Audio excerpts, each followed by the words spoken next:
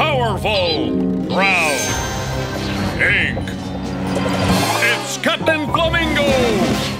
Tired of being a kid in a world built for grown-ups, Milo Powell decided to become a superhero. He's a shining beacon of justice for kids everywhere. He's Captain Flamingo. With his powerful novelty items. And trusty sidekick Lizbeth. He's Captain Flamingo. Look out for the colorful and clueless Captain Flamingo. In Flamingo Vision where available.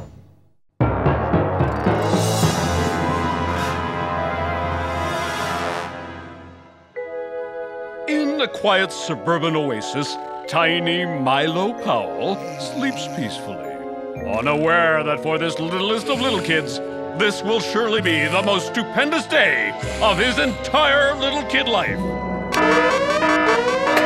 Comics Day! This is the day the new comics arise! And especially Quantum Vigilante number 31! Wherein he battles the evil Vibro Brain. Quantum Vigilante. The strongest, classiest, wisecrackingest hero of them all. Wow, I guess I'm not the only one who thinks so. Well, it's a good thing I'm first in line, because when that store opens, I'm gonna be. really mad. me! Uh, hey, me! Me next! Quantum Vigilante number 31, please! Should have gotten here earlier.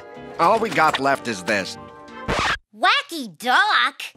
Take it or leave it. But he's wall-eyed, and he wears a giant diaper, and he says dopey things like, That's just quackers. Hmm? Your point? How come big kids get everything, and little kids get stuck with Wacky Duck? Little kids love Wacky Duck. No, they don't. Nobody loves Wacky Duck. Not even Wacky Duck's mother. How come there's nobody to stick up for little guys like me? Somebody ought to do something. Somebody ought to do something.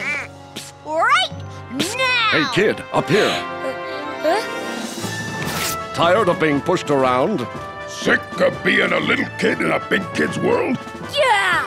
Then do what we did. Huh? I was the littlest guy in my class. I couldn't go anywhere without my blankie. I still suck my thumb. But only at night. And only when I'm totally stressed. We all solved our problems in one easy step. I don't get it. Become a superhero. I can just do that? Why not? We did. I can't believe I didn't think of this before. Now to get started.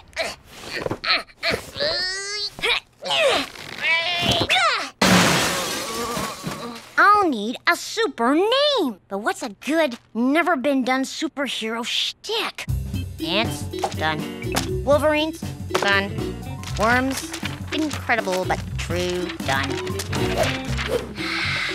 All the good names are taken. Wait a second. Look at that! Noble, magnificent, pink, flamingo.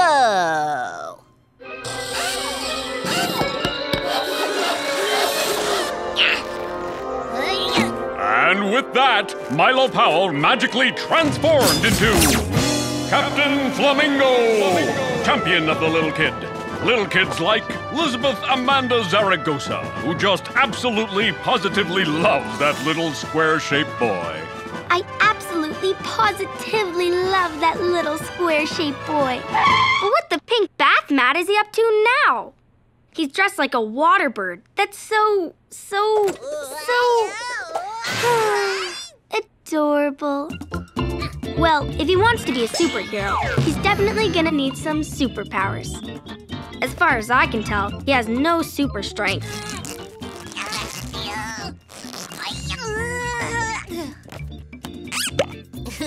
His hypnovision is weak at best. And as far as flight goes, Oh boy.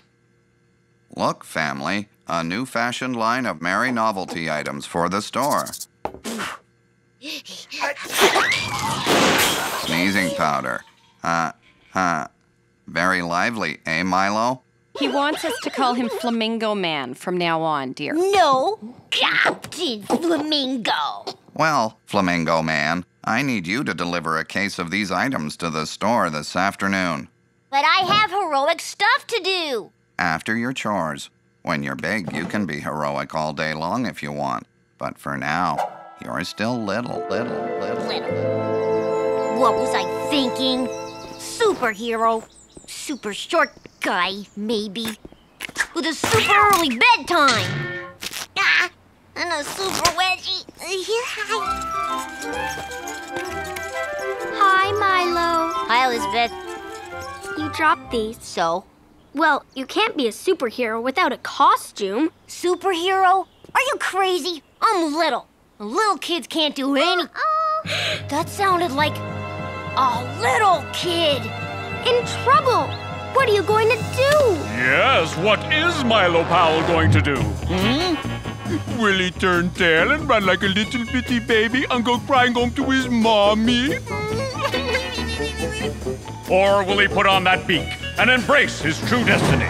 Well, Well, Milo, there's a little kid trouble. Are you going to save them? Just watch me.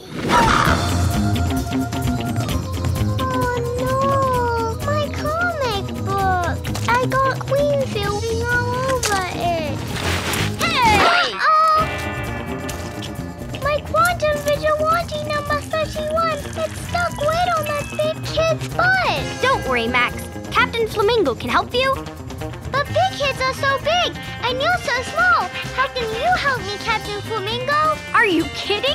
Captain Flamingo is not small. He's compact and disarmingly dense.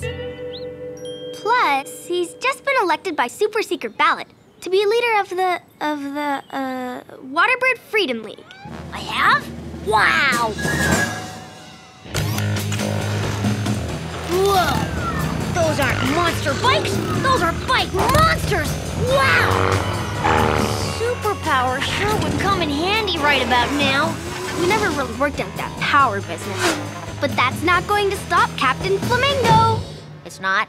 Not when he has his backpack full of super powerful novelty items that are like superpowers. Just look in the bag. Hey! Silly string! I can use this to trip up their giant monster feet!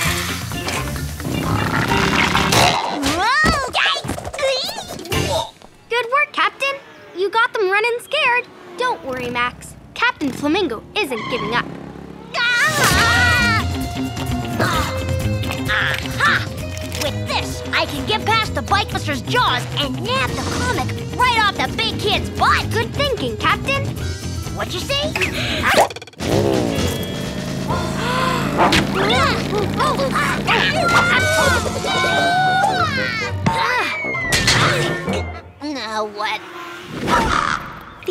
itching powder. If the big kid gets itchy, he'll need relief. And what better way than a cool dip in the wading pool? He'll take off his pants to go in, and then we can grab the comic. It's just crazy enough to work. Captain, use the powder. The powder! Wait! What's that I hear? It's your friend, Bird Brain. What? My bird brain. Aha! So that must be my power. My super powerful bird brain is trying to tell me something. No, I was just saying. Yeah, okay, let's go with that. Aha! I should use some of my dad's itching powder on the big kids. Huh? What? the- What? Ah, No! Captain! That's not the itching powder! That's the sneezing powder! second. Captain Flamingo may be onto something. Little kids may be little in a lot of areas, but not when it comes to spraying huge gobs of gooey yellow sneeze goo. Little kids always wreck everything. Oh! My hero! My hero. Yay! Uh, Mr. Flamingo? You must be wondering how I got that comic. Me being a little kid and all.